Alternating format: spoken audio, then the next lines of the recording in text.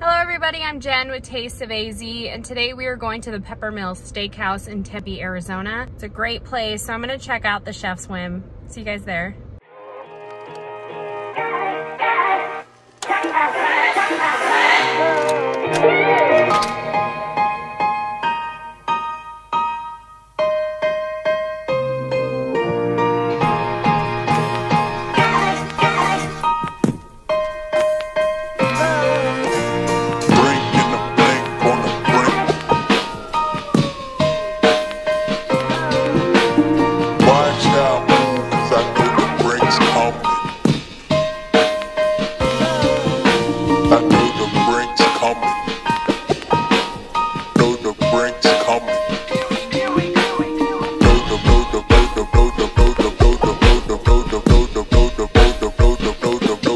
drinks coming.